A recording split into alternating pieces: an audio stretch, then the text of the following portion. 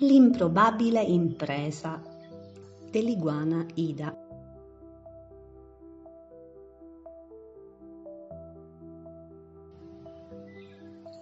Ida l'iguana era un'incredibile inventrice con una passione per i gelati.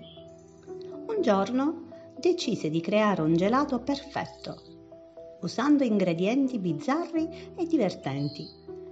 Iniziò a mescolare succo di arcobaleno, pezzetti di marshmallow al sapore di nuvola e una spruzzata di polvere di stelle. Ma non era tutto. Aggiunse anche scintille di fata, gocce di rugiada, zuccherata e una spruzzata di risate frizzanti. L'iguana, tutta impettita, invitò i suoi amici a provare la sua incredibile invenzione il riccio Isidoro, l'istrice Irma e l'ippopotamo Ivo. Si avvicinarono curiosi, ma anche un po' scettici.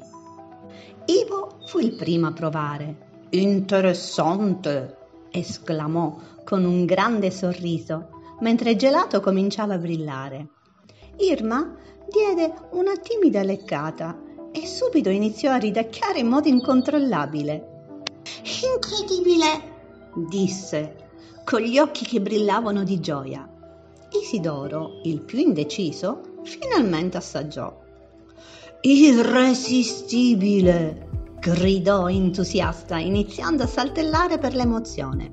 Presto una fila interminabile di animali si formò davanti alla gelateria improvvisata di Ida.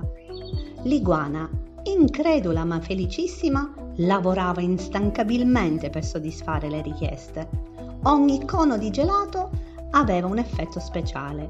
Alcuni facevano ballare, altri facevano cantare e altri ancora facevano vedere le stelle.